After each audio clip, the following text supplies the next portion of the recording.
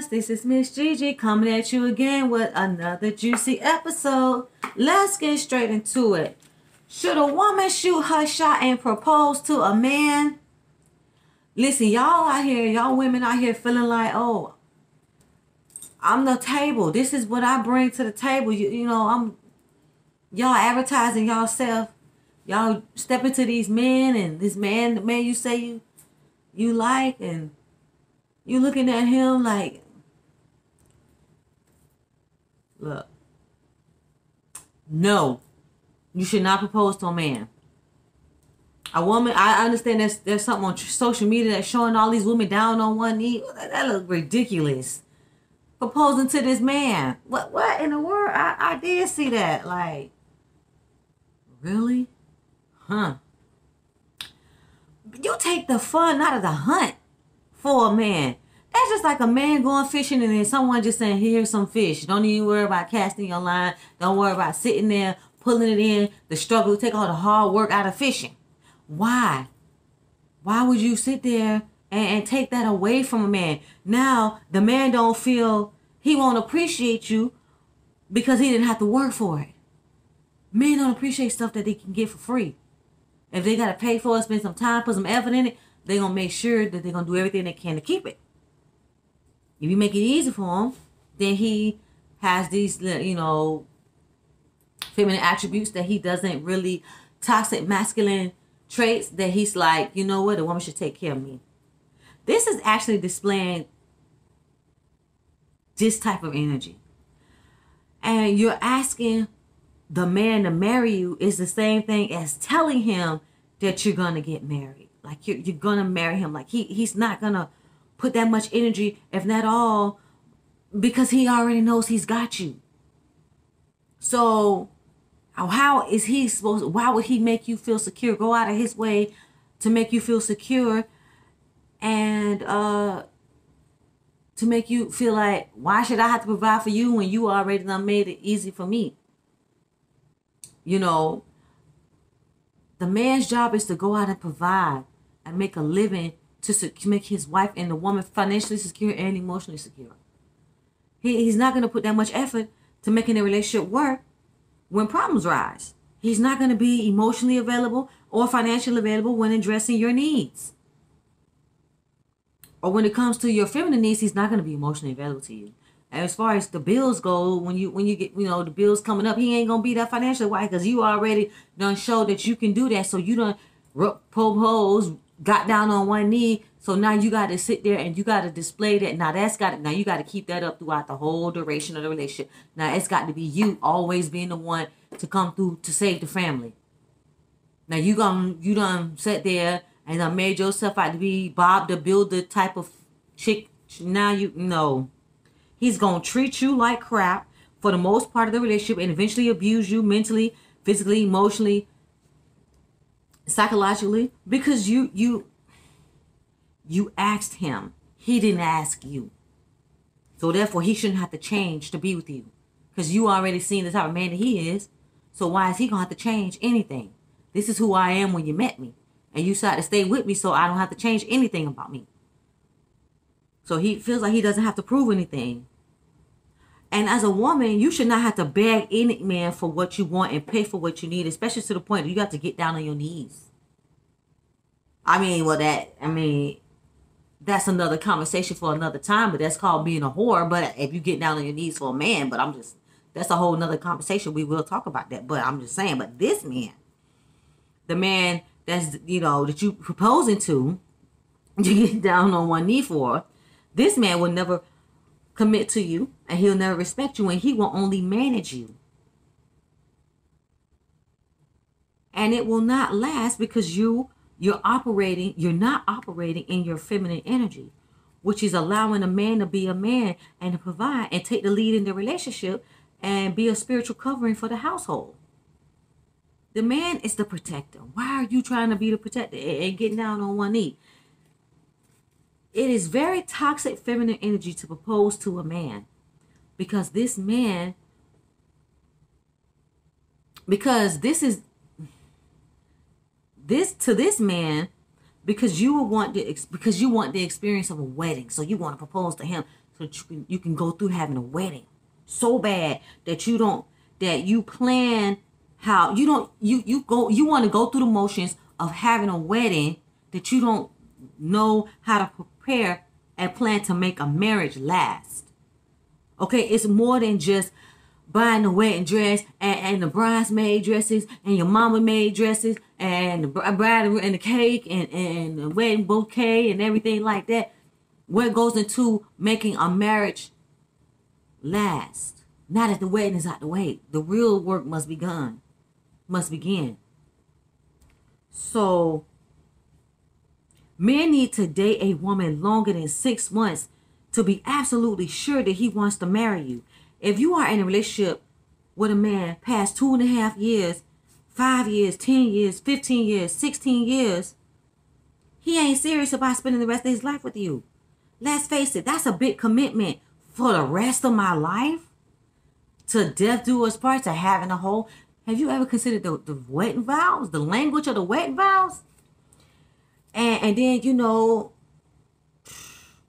this man whoa are you are you is he really are you really showing up as the woman that he needs in order to even consider marrying you? That's why it took it's taking him so long because you're probably not even the type of woman that he would even marry. If y'all living together sure. But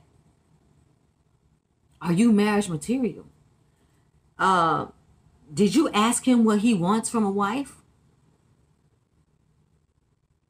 Number two, is he ready to be married or or is he just looking for a place to stay? He just want a roof over his head. Number three, is he like a homosexual? He just only being there doing what it is that you want him to do so that you won't put him out.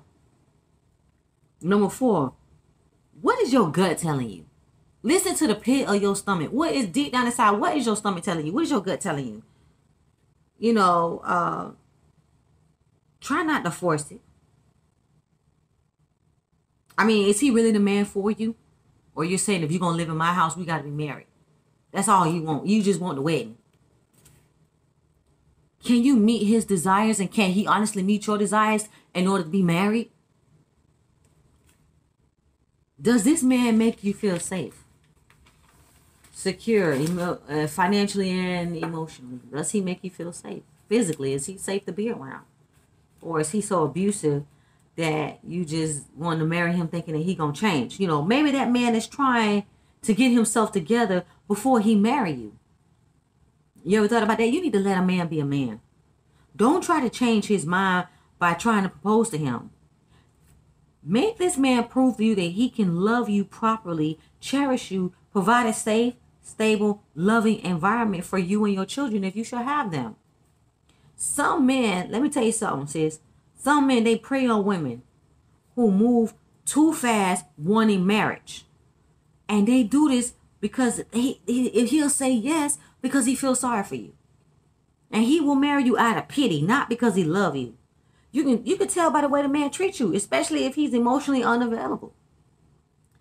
This man don't like you. You could tell by the way he talked to you. You could tell by the way he constantly criticizes you, judging you. Does he make you feel good or make you feel bad? Does he support you or does he neglect you? Does he tell you that he loves you? Does he build up your self-esteem? Does he build up your confidence if he's good for you? Have you ever stopped to think about all these things? If he builds you up, then wait. If he's good for you, then wait until he proposes. Wait for that man to ask you for your hand in marriage. Now, if the relationship is under two years, it's good to wait for him. But if the relationship is over two years, over five years, over 10 years, then maybe you want to reconsider and end the relationship because men don't really need that long to, to, to he, they don't really need years to see if you're marriage material. You know, they don't need years to see if you are mommy material for his unborn children. You know, if you're giving off wife vibes, wifey vibes, or mom vibes, Men know this from day one when he meets you. The first 10 days in the relationship. If he want to spend the rest of his life with you. You got to stop being so desperate and exhausted with the dating that you are willing to force this man to marry you and to love you. And if he's probably desperate for a place to stay, he will marry he will he will marry you out of desperation so he don't have to live on the street. He will be marrying you out of need, not want. But you don't care because you are so lonely and desperate and and, and, and you will accept him. You are being a toxic feminine. This is this is a one-way ticket to a disastrous marriage. Especially if you're paying for the needs of this man, trying to make him stay. This is called buying what you need and paying for begging, buying, begging for what you want and paying for what you need. So that this man will not leave you. Let me tell you something. Man sniff this out and the man say, okay, fine. You trying to buy me? Well, I'm going to use you. Because she desperate for a man. She don't want to be alone. This is the beginning stages of a toxic marriage. And if you are connecting with your man on a spiritual level, mentally, emotionally, and physically, he's going to be the one to ask you first. So don't lose sight of who you are trying to be everything to a man. He ain't going to let you do it if he's a real man. He ain't to let you lose everything, move yourself inside of him. He to want to bring out the best in you and you, because you're to want to also bring out the best in him. Are you aware of your man's love language? Is he aware of yours? How much does this man know about you to want to marry you? And how much do you really know about this man to want to marry him? You down on one knee. Is he really that type of dude? Can do y'all really have that type of communication going on? Is it safe to communicate with this man? Come on now, think about this. Knowing this will make it easier to communicate in the relationship. If you know his love language, are you making getting married all about you and not about love, but your desire to have it your way? Or did you actually think about if y'all get married, you think he gonna fall in love with you afterwards? Before you get to the point of the proposal, I recommend you listen to the video that I'm gonna put in the description below before you say I do. And you, I need you to ask him 10 questions before you propose to him or, or before he proposed to you, which is actually supposed to how it's supposed to happen. Click the link in the description box below. And also, I'm going to put another one in there called Enjoy Your Single Season. So that you can build yourself up so that you won't be so desperate for a man during the dating phase that you will attract the wrong type of man and that you will attract the right type of man that will naturally want to be with you, that will naturally uh, attract the energy of a princess. You need to attract that energy. You give off princess vibes, you will attract a prince. Another reason why the man you are with has no has not proposed to you yet is because maybe he doesn't see you as marriage material or he doesn't see you as wifey. Maybe he's seeing somebody else. Maybe he just see you as a sex partner. And maybe you fell in love with him based on the sex and decided in your mind if he doesn't ask me, I'm going to ask him. Maybe you need to check to see if you have not outgrown a relationship. If this man outgrown you or you outgrown him. What season is he in? Is he, you know, non-committal? If the two of you are not a right fit for each other, you know, like check, check, check to see how, you know, the chemistry is. Do you, are you vibing? Is it, and the, the, the, the, um, the relationship is the landscape of the relationship is it healthy or is it toxic are your needs being met and is his needs being met you know um and then ask your boyfriend you know you say babe what changes do i need to make in order for you to see me as marriage material or see me as wifey and what needs to happen in order to become his wife are you willing to make those changes and is he willing to make those changes? Because he said, "Man, I want to get married, but I need you to change this and this and that's about you. Then that'll make me safe, or maybe make me feel more secure about being married to you. Because being married is long term. So we need to really have this serious conversation. Because when we get married, I don't want to have to go out, go, go, waste all that time and energy planning the wedding to only get a divorce in three to six months.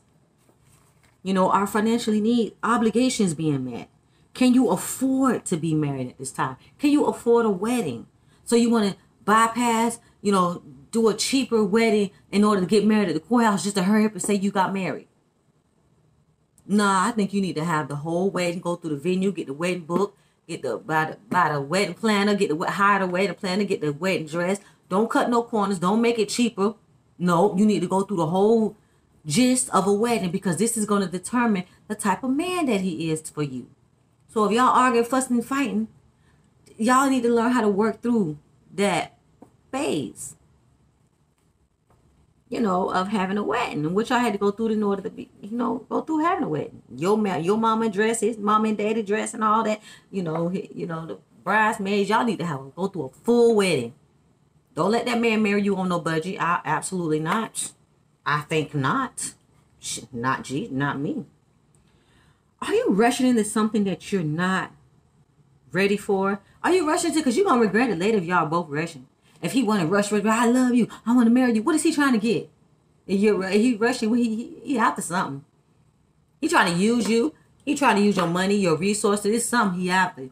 Your friend, your connections, or something about being with you that's attracting him, and he want to hurry up and rush and marry you. It's because you making him look good. He make you look good. Well, what is that? Y'all both look good on the gram. Y'all both look good on book on the book on Facebook. Y'all look good on social media. So you know, being with him, being with you is gonna attract more people to him.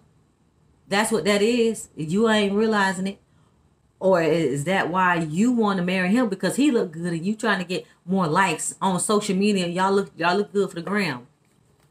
But behind closed doors, he whooping your butt. He tear you or drag he dragging you through the house. But y'all Y'all take it selfish. Y'all just put some makeup on them bruises and y'all just y'all posing for the gram. Are you are you creating a healthy living environment while y'all are together? Is this a healthy living environment? I mean, is it peaceful or is it violent like I was just ex- describing? Does it feel like a home when y'all together? Does this man is this man need to be respected? Does this because you know a man needs to be respected and a woman needs to feel safe, loved, and cherished. So are you are you even providing respect for this man, making this man feel respected and, appreciated and not tolerated when he walked through the door? Are you making him feel like this is a house, uh, this house is a home for you? Are you are you wanting to get married for the sake of just having a beautiful wedding? You know, the thrill of checking up checking off your bucket list. If you are both genuinely in love, then wait until the man's season come around for him to desire to marry you. Let that man desire you. If if if you are acting so controlling and you force the marriage, then the man will go through with the wedding to only divorce you. He'll do it in 24 hours. He'll go through all that mess and divorce you the next day or a few months down the road. He'll obey your needs for now, for one night, and literally turn around and leave. You you run the risk of embarrassment and shame of having a short-lived marriage because he only married you out of pity and not love. And you got married to say, I conquered that. I got that off my checklist. That's what it sounds like. You're trying to force that man to be with you. That sounds so very controlling and domineering and masculine. You know, that's a, uh, you know, uh, toxic feminine you know, been there, done that, you know, or, or are you too far in love with this man or too far in this relationship to break it off and and being alone or being without him is not an option? In the end, you're gonna feel like a Bob the Builder chick with this man. You're gonna feel like this man is some type of home improvement renovation project at your house because you're gonna have to constantly build him up and because he's really feeling insecure like you're his mother because because of his lazy immature ways and he's not invested and trying to build a healthy relationship. He's an adult child you get to sleep with. That's that's disgusting. You know, a man that allows a woman to take control like this does not have a sense of direction for his life. Because if he did, he would want to be a better man for her. Do the right thing to make a better life together. A man will work day and night to provide for his household because he does not want another man to come and take his woman. And he does not want his woman stressed out, paying all the bills or worrying about the or worrying about how to make a make a living for him and the children. A man needs to feel like a man. A man needs to feel needed so he can he can be superhero for his family. If a man is not needed, he's a boy. Why do you really want to marry this man? And he don't make you feel safe. you know, I mean, I mean, financially or emotionally, how much progress have this relationship have you made in your in your relationship? Has he put enough effort in in this relationship to even demonstrate that he's ready for marriage? Is he mature enough to handle that? What if you get pregnant or do you have children and you think he'll grow up? Chances are this man is not going to get any worse. And he's not going to get any better. He's going to get worse and he's going to desire his freedom. You need to accept this man that this is who he is and you need to move on with your life and keep moving forward and you need to go in the well go go go in the corner somewhere and, and, and pray about this thing because in the end it's going to get worse for you and you're going to find yourself in therapy and in a pastor office for therapy you're not looking at this from a proper perspective because maybe God is showing you the type of man that he is so that you can let go.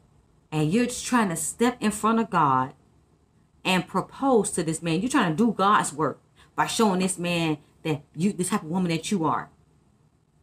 When this man is showing you who he is. God is showing you who this man is, but you you blocking your blessings. Cause God cannot bless you because you got this man in your in your house and in your life, and he just uses you, and God says she don't even see it. This is why you are so miserable and stressed out because you think marrying this man is going to improve the quality of your life or the quality of your relationship. And God is saying, no, this man is using you, and this man ain't making no attempts to become a better person or a better man for you. And you're not miss, you're not getting it. You're not getting it. By the end of this relationship, this man is going to leave you bitter, confused, and exhausted, broke, and broken. He's going to drain you of all your resources, your time, and your energy. Sis, take a step back and reevaluate your standards. Go back to your list. Go back to your list. Reevaluate your princess energy and what you need from your prince. Watch that video that your prince. I'm gonna put that that video in the link too how to attract your prince. You know, oh, stop chasing that man. That's essentially what you're doing when you when you uh proposing to him. Become self-aware of what the hell you doing. Stop trying to do this man job for him. Walk in your feminine energy. Require that man to operate in his masculine prince energy. Let him operate in his prince energy. Be a whole, healthy Proverbs 31 man and let this and you become a whole Proverbs 31 woman. A man that lets you drop down on one knee, see this as a woman begging to be with him. A woman that's desperate for a man. His pride and ego is loving this, and he's gonna treat you how he wants to treat you. He's gonna embarrass you and humiliate you throughout the entire relationship because this is he's gonna he's gonna be exhibiting now a toxic setting for this relationship because he's insecure. And he knows that this woman, he knows you out of your league. That's probably why he didn't marry you. Sis, think about it. He know I can't keep this woman up. I know I can't keep this woman. If I marry her, she gonna want me to pay bills. He gonna want me to buy her stuff. She gonna take her here, take her there, shopping, all that. Sis, she could do better than me. I know she could do better. This man is saying this to his mind. She can. She know she deserves a. She she deserves better than what I can provide for her. She deserves a man that can do these things for her that she really needs. Taking her places and doing things with her. She deserves the best. He knows he's not on top of his game. So therefore, he, he knows he's not a leader or a provider. And you will see it in his actions. A lot of women, a lot of women had to be independent in the past in order to to provide. So why would you make yourself go through this? Make yourself desirable in this man's eyes and act like a lady and be soft and be feminine and dress up and make yourself beautiful and maintain your godly princess. Proverbs 31 woman energy. Speak with intelligence and carry yourself with dignity and pride. Have respect for yourself and others. Have a pleasant countenance and be safe for a man to love you. Be a joy to be around you. Be fun, flirty, and full of jokes. Just just have fun a little bit. Relax and smile. Be approachable. Princess energy. And make yourself, and this will, you will automatically attract a prince. When Boaz looked up and saw Ruth gleaning, he said, Who is this? He saw her value from day one. She was gleaning in the field. Ruth did not chase him. She wasn't trying to get his attention. She made her feelings known. When he approached her, yes, I like you too. And Boaz went out of his way to meet her family, meet Naomi, and let her know, I love her and I want to marry her. A man will make his intentions known. When you propose to a man, this is stepping out of your natural use. Do not get mad at God because you chose the wrong man. You ignored the red flags. God showed you. Worst of all, you're going to have to keep up this energy for the rest of the relationship. Like I was saying, because this man is exhibiting toxic masculine energy, wanting you to take care of him. And you take away, and this takes away from you, and this takes away from that man being a leader and a provider. Providing security for you, providing security for your children if you should have them, financially and emotionally. A man that findeth the wife findeth the good thing and obtain favor from the Lord. So, otherwise, that man will tell you. If any man tells you otherwise, that oh, a woman she she can't propose to a man, that's fine. It's it's no problem. He immature. He he's a player. He ain't looking. He he, he just like to sleep around with other women. So he just like that attention. He's non-committal because he's not looking to get married or be in a committed relationship. He's probably a homosexual. He'll probably do it for a place to stay. Hey, I'll marry you. I, I need a place to stay. Oh, it's better than being on the street. He ain't really that interested in a committed relationship. And he probably, you know, not serious about this woman. He don't love you. That's why he didn't marry you. So you sitting up here trying to shoot your shot and get down on one knee, marry this man. You walking into a full blown disaster, and you going and your wedding's gonna be premature. If this has happened to you, meet me in the comment section. Let's have this conversation. Thank you so much for listening to this message. Don't forget to comment, share, like, and subscribe. Love, hugs, and kisses. Bye.